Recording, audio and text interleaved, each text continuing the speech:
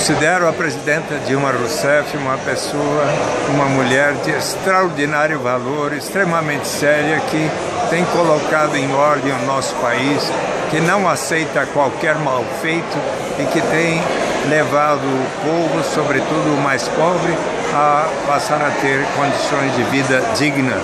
Nós vamos ajudá-la a elevar o grau de liberdade e de justiça para todo o povo brasileiro elegendo novamente a presidenta Dilma Rousseff.